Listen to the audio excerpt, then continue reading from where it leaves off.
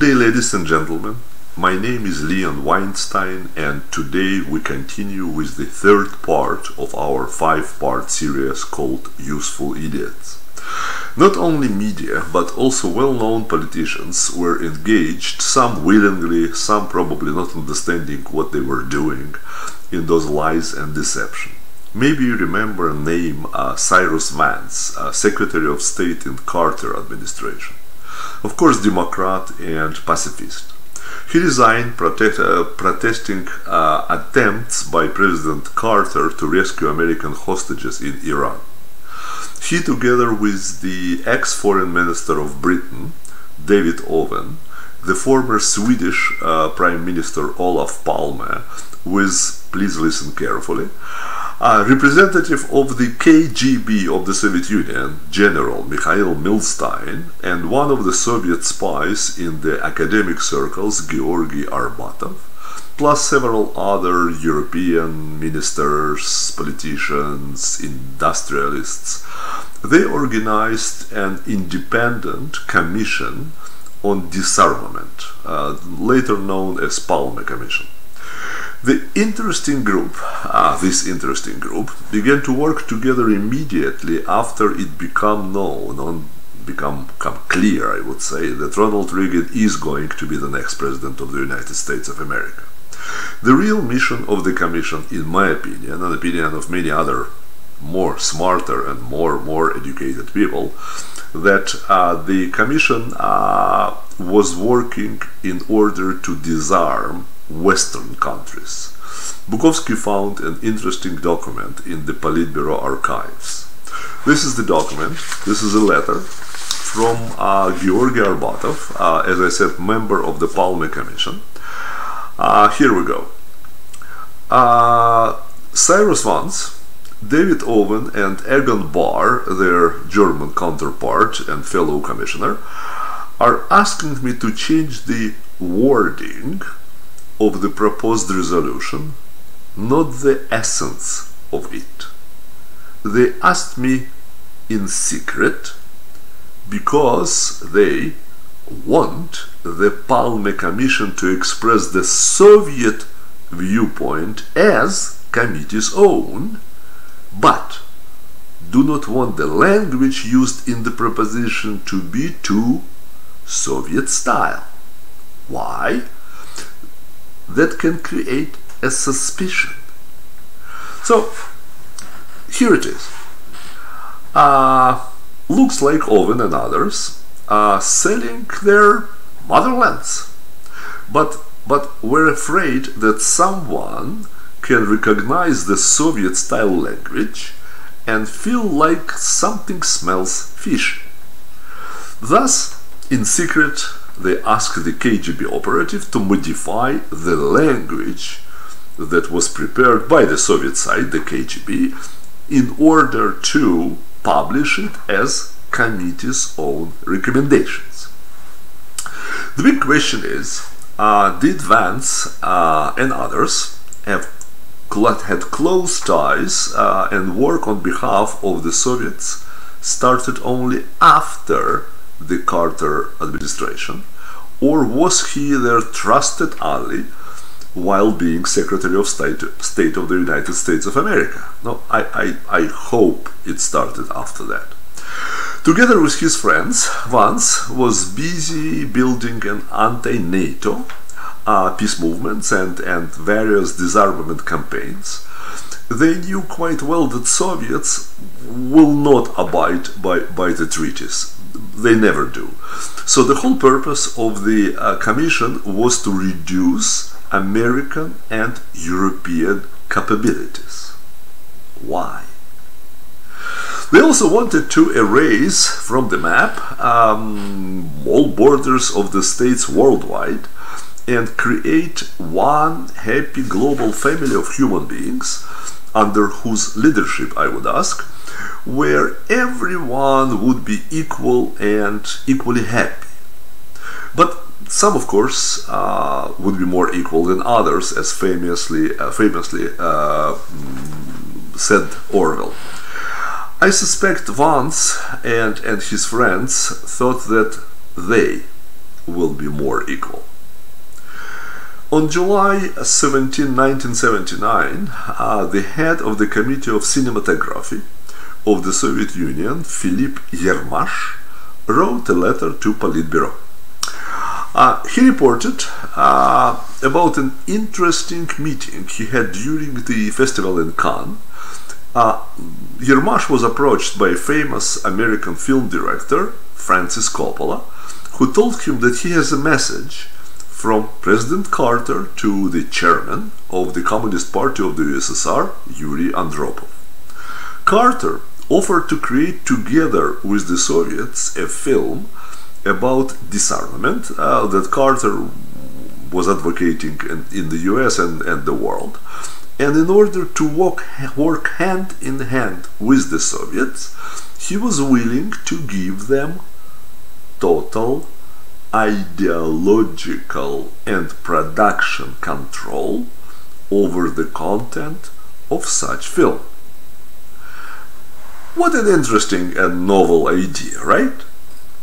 The famous and loved by, by everyone in America Coppola agreed to that and went to discuss it with the Soviets.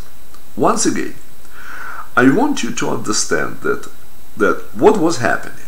Francis Coppola was offering uh, to Soviets to produce propaganda and deception. And Coppola would allow them to use his name and reputation to lie to the American public.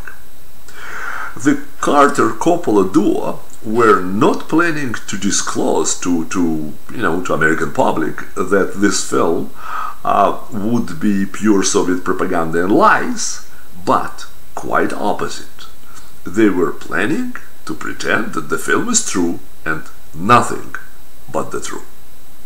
Were Carter and Coppola just useful idiots or something much more dangerous?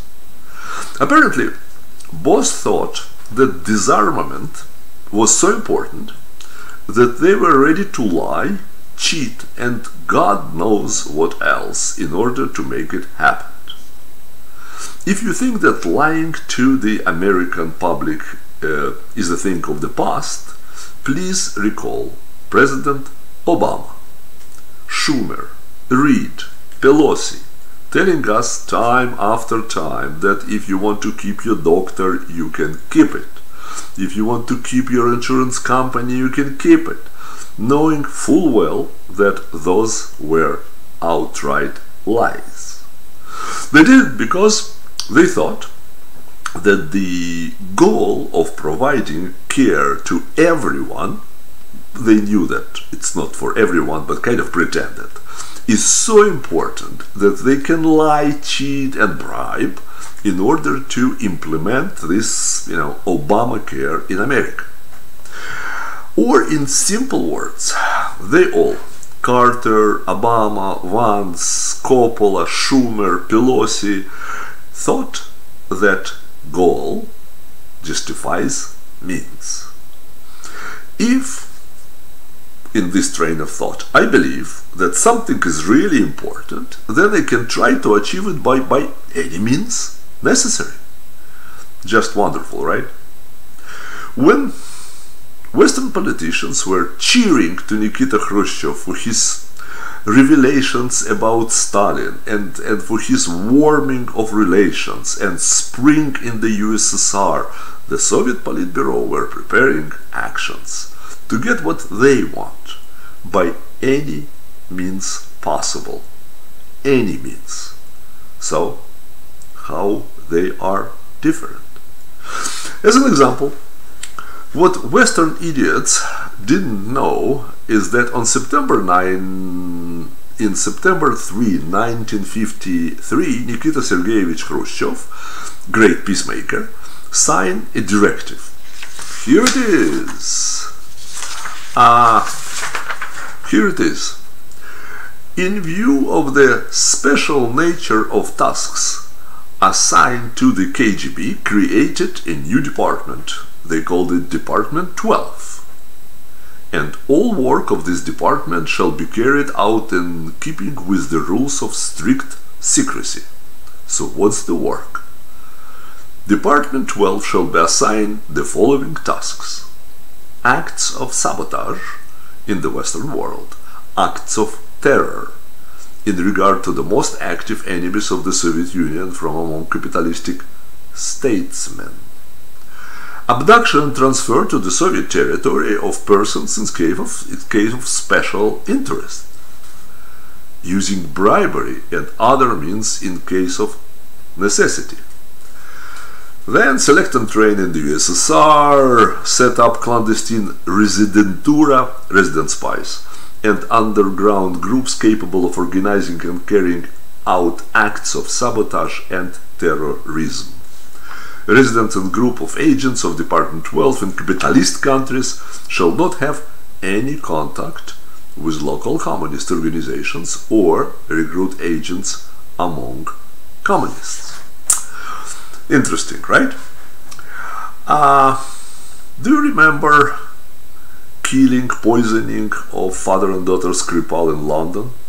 Do you remember uh, murder of the Russian oligarch Boris Berezovsky who opposed Putin? Murder of a great poet Galich? Murders of Tbilisi, Paris, Paris, London, Prague, Berlin and, and countless others. It's all done by the Department 12 of the KGB that was started by a great reformer, Nikita Khrushchev, supported by obstructionists Andropov, developed by arch reformer Gorbachev and strengthened and continued by the present Kremlin bloody crime lord Vladimir Putin. West all those criminologists, Sovietologists, historians, historians, political advisors understood nothing, or close to nothing, about Soviet mind. About Soviet system, new breed of people called Homo Sovieticus, not Homo sapiens, unlike others, and how and why this system worked for 70 years. They couldn't even imagine how amoral the Soviet citizens were. Not only the elites, but the people at large. Soviets, on the other hand, understood Western elites, Western liberals, Western useful and untamed idiots quite well. At the start of the 70s, KGB realized that these so-called progressives have huge heart lots of good intentions and honorable emotions, however, almost no brains. And the next phase of the Useful Idiots program kicked in. New KGB directives ordered the State Committee on Radio and Television and as well the uh, Academy of Science, please do not be surprised, during all Soviet years and, and now in the years of Putin's regime, journalists, writers, musicians, professors at universities, and scientists were reporting to the KGB and performing tasks for the KGB, both inside and outside of Mother Russia. One of the tasks in the 70s, and until current time as a matter of fact, was to infiltrate liberal circles of the West influence them and look for potential recruits for the foreign department of the KGB, now called FSB. No difference. After Brezhnev's visit to the USA in 1973, Politburo fine-tuned the propaganda to in order to divide the US and Europe and generally decrease the influence of the United States, an arch enemy of the Soviets, on the world stage. On July 24, 1979, Kremlin issued the following decree. Instruction to all Soviet citizens mm-hmm, who are taking part in the propaganda efforts of the USSR and abroad. We need to start more actively using Western media for distribution of the Soviet point of view. For that, you need to initiate contacts with European and American journalists, editors, hosts of radio and TV programs, and offer them projects that will help to promote to their respect, respective countries that Soviet view of life is more beneficial to regular people than the Western capitalistic system. The Committee of the State Security, this is KGB, uh, will oversee the implementation of this project. You can always contact your supervisors at KGB. So scientists and artists had their own supervisors at KGB and KGB and use connections and abilities of this organization, organization to reach those goals. Uh, for better understanding, dear viewers, abilities of KGB include bribery, blackmailing, and murder. Let's stop here. Next chapter will be even more explosive than this one. Bukovsky book will be sold on Amazon and other book selling sites starting May 2019. My books, Capitalism 101 and Looking for Hugh, you can download from the same Amazon and other sites or you can you can buy a soft cover you know, paper book on internet.